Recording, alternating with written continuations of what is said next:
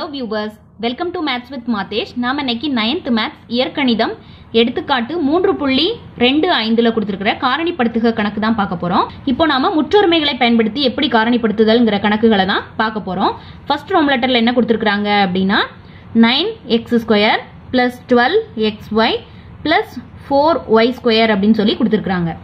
இது என்ன ஃபார்மெட்டில் இருக்குது அப்படின்னு பார்த்தீங்கன்னா a square plus two a b plus b ஸ்கொயர்ன்ற ஃபார்மெட்டில் நமக்கு ஒரு முற்றொருமை தெரியும். அந்த முற்றொருமையை ஃபஸ்ட்டு எழுதிக்கலாம். அந்த ஃபார்மெட்டில் இது இருக்குதான்னு சொல்லி செக் பண்ணிவிட்டு நாம் யூஸ் பண்ணலாம்.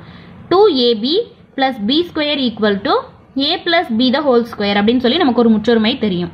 இப்போ அந்த ஃபார்மெட்டில் இது இருக்குதா அப்படின்னு சொல்லி ஃபஸ்ட்டு செக் பண்ணிக்கலாம். இந்த ஒன்பதை வந்து நம்ம என்னென்னு எழுதலாம் அப்படின்னா மூன்று ஸ்கொயர் அப்படின்னு சொல்லி எழுதலாம். அப்போ ஒன்பதை வந்து ஃபஸ்ட்டு மூன்று ஸ்கொயர் எக்ஸ் ஸ்கொயர் ப்ளஸ் பன்னிரெண்டு எக்ஸ் ஒய் அப்படியே வச்சுக்கலாம். ப்ளஸ் இதை வந்து ரெண்டு ஸ்கொயர் ஒய் ஸ்கொயர்னு சொல்லி எழுதலாம். ஸோ இதை வந்து நம்ம த்ரீ எக்ஸ் த ஹோல் ஸ்கொயர்னு எழுதிக்கலாம். இந்த டுவெல் எக்ஸ் ஒய்யை நம்ம அப்படியே வச்சுக்கலாம். இங்கே வந்து டூ ஒய் த ஹோல் ஸ்கொயர்னு இதை எழுதலாம். ரெண்டுமே ஸ்கொயரில் இருக்குது so two y the whole ஸ்கொயர்னு நம்ம எழுதிக்கிட்டோம். இதை ஏ டேர்மாவும் இதை பி டேர்மாவும் வச்சோம் அப்படின்னு சொன்னால் டூ ஏபிங்கிற ஃபார்மேட்டில் இந்த டுவெல் எக்ஸ் ஒய் இருக்குதான்னு சொல்லி நம்ம பார்க்கலாம்.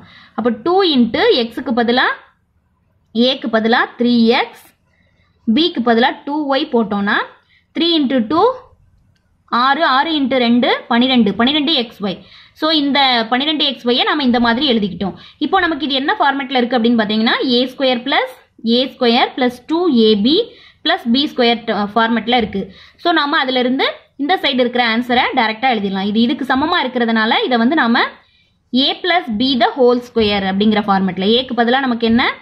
த்ரீ எக்ஸ் பிக்கு பதிலாக என்ன எழுத போகிறோம் டூ ஒய்ன்னு சொல்லி எழுத போகிறோம் இப்போ ஏக்கு பதிலாக three x plus two y the whole square அப்போ நாம் இதில் படி ரெண்டு உள்ள இந்த கோவையை நாம் என்னவா மாற்றிருக்கிறோம் three x plus two y into three x plus two y படி ஒன்று உள்ள இரண்டு நேரிய கோவைகளின் பெருக்கற்பலனா நாம் காரணிப்படுத்தி கண்டுபிடிச்சிருக்கிறோம். இப்போ நாம் ரெண்டாவது கணக்கு ரெண்டாவது ரோம் ரோம் லெட்டரில் நமக்கு என்ன கொடுத்துருக்குறாங்க அப்படின்னா இருபத்தைந்து ஏ ஸ்கொயர் மைனஸ் பத்து ஏ ப்ளஸ் ஒன்று அப்படின்னு சொல்லி கொடுத்துருக்குறாங்க.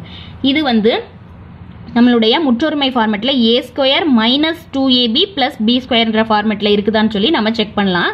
அந்த முற்றொருமையை ஃபஸ்ட்டு எழுதிக்கலாம். A square minus two a b plus b square equal to a minus b the whole square அப்படின்ற முற்றொருமை நமக்கு தெரியும்.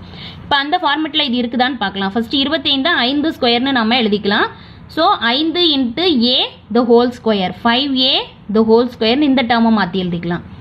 மைனஸ் டென் ஏ ஃபஸ்ட்டு நம்ம மாற்ற வேண்டாம். ஃபஸ்ட்டு ஒன்னை வந்து எப்படி எழுதிக்கலாம் அப்படின்னா ஒன் ஸ்கொயர் அப்படின்னு சொல்லி எழுதிக்கலாம்.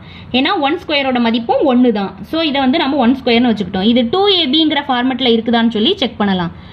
டூ இன்ட்டு ஏயுடைய மதிப்பு இங்கே ஐந்து ஏ பியினுடைய மதிப்பு ஒன்று. ஸோ நமக்கு இது இந்த ஃபார்மெட்டில் இருக்குதா அப்படின்னு பார்த்தீங்கன்னா ஐந்து a the whole square minus two a b இது ரெண்டையும் பெருக்கும்போது டென் ஏ கிடச்சிடும். Minus ten a plus one square so இது வந்து இந்த ஃபார்மெட்டில் இருக்குது இப்போது நாம் இப்போ அப்போ இந்த ஃபார்மேட்டில் இருந்ததுன்னா நம்ம ஆன்சரை எப்படி எழுதிடலாம்? A minus b the whole square அப்படின்னு சொல்லி எழுதிடலாம். ஏக்கு பதிலாக நமக்கு என்ன இருக்குது? ஐந்து ஏ இருக்குது பிக்கு பதிலாக என்ன இருக்குது? ஒன்று இருக்குது. ஸோ ஏ பி மதிப்புகளை இதாக வச்சு நம்ம இந்த ஃபார்ம் இந்த முற்றொருமையை யூஸ் பண்ணி பண்ண போகிறோம் ஐந்து a plus sorry minus minus இங்கே மைனஸ் இருக்குது ஸோ இங்கேயும் நமக்கு மைனஸ் வரும். Minus one the whole square அப்போ ஐந்து ஏ மைனஸ் ஒன் இன்ட்டு ஐந்து ஏ மைனஸ் ஒன்னுன்னு சொல்லி ரெண்டு ஒரு படி நேரிய கோவையாக நாம் அதை பெருக்கற்பலனாக மாற்றி எழுதிட்டோம். இப்போ நாம் மூன்றாவது கணக்கு பார்க்க போகிறோம் கணக்கில் என்ன கொடுத்துருக்குறாங்க அப்படின்னா முப்பத்தி ஆறு எம் ஸ்கொயர் மைனஸ் நாற்பத்தி ஒன்பது என் ஸ்கொயர் அப்படின்னு சொல்லி இருக்குது இதில் வந்து நமக்கு முப்பத்தி ஆறுங்கிறது எதோடைய ஸ்கொயரு அப்படின்னு சொல்லி பார்த்தோம்னா ஆறு ஸ்கொயர் ஸோ இதை வந்து நம்ம எப்படி எழுதலாம்? ஆறு m the whole square minus இந்த நாற்பத்தி ஒன்பதுங்கிறது ஏழுனுடைய ஸ்கொயர் ஸோ ஏழு என் த ஹோல் ஸ்கொயர் இப்போ இது என்ன ஃபார்மேட்டில் இருக்குது அப்படின்னு பார்த்தீங்கன்னா a square plus plus b square minus b square a square minus b ஸ்கொயருக்கு நமக்கு ஃபார்முலா தெரியும். A plus b into a minus பின்னு சொல்லி நமக்கு தெரியும். ஸோ இந்த முற்றொருமையை பயன்படுத்தி தான் இந்த கணக்குக்கு நம்ம ஆன்சர் பண்ண போகிறோம் ஏக்கு பதிலாக நமக்கு என்ன இருக்குது? சிக்ஸ் எம் பிக்கு பதிலாக செவன் என் இருக்குது இதை வச்சு இந்த மாதிரி முறைக்கு நாம மாற்ற போகிறோம் இப்போ ஏக்கு பதிலாக நம்ம என்ன போடணும்? Six m plus seven n into six m minus seven n so நாம் இந்த முற்றொருமையை இந்த மாதிரி ரெண்டு நேரிய கோவைகளின் பெருக்கற்பலனா மாற்றிட்டோம் நாம நான்காவது ரோம் லெட்டர்ல கொடுத்துருக்கிற கணக்கு பார்க்க போறோம். இந்த கணக்குல வந்து என்ன கொடுத்துருக்காங்கன்னா எக்ஸ் பவர் ஃபோர் மைனஸ் பதினாறு அப்படின்னு சொல்லி கொடுத்துருக்காங்க அப்ப எக்ஸ் வந்து பவர் ஃபோர் இருக்கு. அப்ப இந்த பதினாறை எதனுடைய பவர் நான்கா நாம எழுதலாம் அப்படின்னா பதினாறை வந்து ரெண்டால் வகுத்தோம் அப்படின்னா ரெண்டு பவர் நான்குன்னு சொல்லி பதினாறாக எழுதலாம். ஸோ நம்ம இந்த ஃபார்முலாவை ஃபஸ்ட்டு எப்படி எழுதிக்கலாம்? எக்ஸ் பவர் ஃபோர் மைனஸ் ரெண்டு பவர் நான்குன்னு எழுதிக்கலாம். இதிலிருந்து நம்ம எந்த முற்றொருமையை யூஸ் பண்ண முடியும் அப்படின்னு பார்த்தீங்கன்னா a square minus b square equal to a plus b into a minus பின்ற இந்த முற்றொருமை தான் யூஸ் பண்ண போகிறோம் இந்த எக்ஸ் பவர் ஃபோரை நம்ம என்னென்னு எழுதலாம்? X square the whole square minus ரெண்டு பவர் நான்கு ரெண்டு ஸ்கொயர் த ஹோல் ஸ்கொயர் இப்போ நமக்கு இதில் ஏ பி டேர்மை நமக்கு என்ன இருக்குது இது ஏ ஸ்கொயர் இதை பி ஸ்கொயராக நம்ம வச்சுக்கிட்டோம் அப்படின்னா ஏனுடைய மதிப்பு நமக்கு என்ன? எக்ஸ் ஸ்கொயர் பியினுடைய மதிப்பு ரெண்டு ஸ்கொயர் ஸோ நாம் இதை வச்சு இந்த முற்றொருமையை மாற்ற போகிறோம் படி ரெண்டில் நான்குலேருந்து சுருக்க போகிறோம் ஸோ ஏக்கு பதிலாக எக்ஸ் ஸ்கொயர் ப்ளஸ் பிக்கு பதிலாக ரெண்டு ஸ்கொயர் ஏக்கு பதிலாக எக்ஸ் ஸ்கொயர் மைனஸ் ரெண்டு ஸ்கொயர் ஸோ நமக்கு ஆன்சர் என்னதான் கிடைக்கும்? எக்ஸ் ஸ்கொயர் ப்ளஸ் நான்கு இன்ட்டு எக்ஸ் ஸ்கொயர் மைனஸ் நான்கு. ஸோ இதுதான் நமக்கு ஆன்சர் நம்ம ஐந்தாவது ரோம் லெட்டரில் கொடுத்துருக்கிற கணக்கை ஃபஸ்ட்டே பார்த்துட்டோம். இப்போ நான்காவது ரோம் லெட்டர்ல வந்து என்ன கொடுத்துருக்குறாங்க அப்படின்னா எக்ஸ் கியூப் மைனஸ் எக்ஸ் அப்படின்னு சொல்லி கொடுத்துருக்குறாங்க. இந்த டேர்மில் வந்து நம்ம ஃபஸ்ட்டு என்ன பண்ண போகிறோம் அப்படின்னா ரெண்டுலேயுமே எக்ஸ் வந்து காமனாக இருக்குது ஸோ எக்ஸை வந்து காமனாக வெளியில் எடுக்க போகிறோம் அப்போ எக்ஸை வெளியில் எடுத்தோம்னா இங்கே என்ன ரிமைனிங் இருக்கும் அப்படின்னா எக்ஸ் ஸ்கொயர் இங்கே எக்ஸை வெளியில் எடுத்தோம்னா மைனஸ் ஒன்று மட்டும் இருக்கும். இப்போ இதிலேருந்து நாம் என்ன பண்ண போகிறோம் அப்படின்னா இந்த டேர்மை எக்ஸ் ஸ்கொயர் மைனஸ் இதை ஒன்றை வந்து ஒன்று ஸ்கொயர் அப்படின்னு எழுதிட்டோம் அப்படின்னா இதுக்கு நமக்கு ஒரு முற்றொருமை தெரியும். ஏ ஸ்கொயர் மைனஸ் பி ஸ்கொயருக்கு என்ன தெரியும்? A plus B into A minus பின்னு சொல்லி நமக்கு தெரியும். ஸோ இந்த முற்றொருமையை பயன்படுத்தி இதுக்கான விரிவை வந்து நம்ம கண்டுபிடிக்க போகிறோம் அப்போ எக்ஸ் அப்படியே வச்சுக்கிட்டோம். இங்கே வந்து ஏக்கு பதிலாக நமக்கு என்ன இருக்குது? எக்ஸ் இருக்குது பிக்கு பதிலாக ஒன்று இருக்குது இந்த ரெண்டையும் நாம் பிரதியிட போகிறோம் A plus B into A minus பின்ற இந்த முற்றுரிமையை பயன்படுத்த போகிறோம் அப்போ x plus one into x minus one அப்படின்னு சொல்லி நாம் எழுதிக்கலாம். அப்போ இந்த முற்றுரிமையை அதனுடைய காரணிப்படுத்தி நாம் இந்த மாதிரி மாற்றிருக்கிறோம் இப்போ நம்ம ஆறாவது ரோம் லெட்டரில் கொடுத்துருக்கிற கணக்கு பார்க்க போகிறோம் x square plus four y square plus nine z square minus four x y plus பன்னிரெண்டு ஒய் இசட் மைனஸ் ஆறு எக்ஸ் இசட்னு சொல்லி இருக்குது நமக்கு முற்றொருமையில் ஒரு ஃபார்முலா தெரியும். A square plus B square plus C square plus two AB plus two BC plus two CA is equal to A plus B plus C the whole ஸ்கொயர்னு சொல்லி தெரியும்.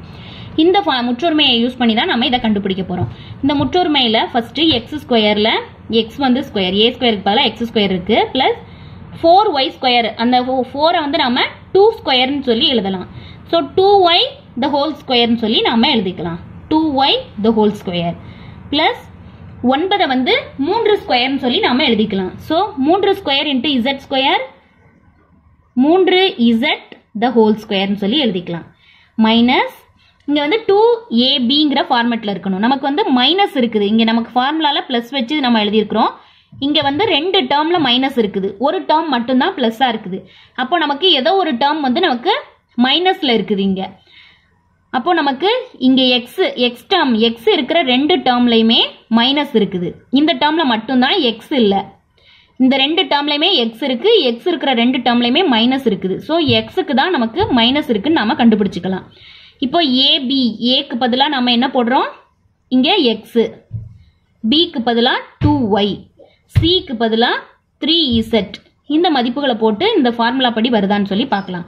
மைனஸ் டூ இன்ட்டு ஏபி ஏக்கு பதிலாக x பிக்கு பதிலாக two Y எக்ஸுக்கு வந்து நம்ம என்னென்னு எழுதி எடுத்திருக்கிறோம்? மைனஸ் எக்ஸ்ன்னு வருததா நம்ம வச்சுக்கலாம். ஏன்னா எக்ஸ் இருக்கிற ரெண்டு டேர்ம்லையுமே மைனஸ் வருது.